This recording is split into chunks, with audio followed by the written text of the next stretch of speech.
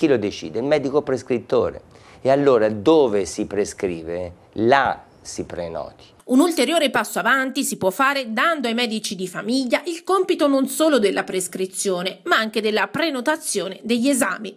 Così il direttore generale Enrico Desideri risponde alla domanda su come migliorare le liste d'attesa e lo scontento di chi chiede tempi più brevi per gli esami ed evitare di spostarsi di vallata in vallata per ottenerli. Eh, la sola ASL di Arezzo prenota ed esegue ogni anno 4 milioni e mezzo di prestazioni, ogni mattina noi prenotiamo 29.700, 29.800 prestazioni specialistiche. Io ho una soluzione a cui credo molto.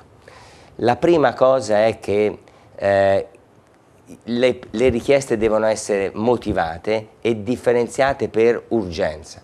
Motivazione, questo costringe un po' tutto il sistema a spiegare bene il perché di quell'accertamento, no? perché i numeri sono pazzeschi, e dove si prescrive si prenoti. In questo modo l'eventuale malinteso, preoccupazione giustificatissima del cittadino si risolve con il medico che ha prescritto, che è il medico curante spesso. In realtà all'interno dei cinque ospedali dell'ASL 8 è possibile fare esami in tempi congrui, questo quello che si evince dalla tabella pubblicata nel sito della aggiornata al 30 ottobre scorso. Per ogni prestazione sanitaria c'è un numero segnato in verde che evidenzia il tempo di attesa più basso, ma che spesso porta i pazienti nei diversi ospedali dislocati nelle quattro vallate con disagi soprattutto per anziani e non autosufficienti.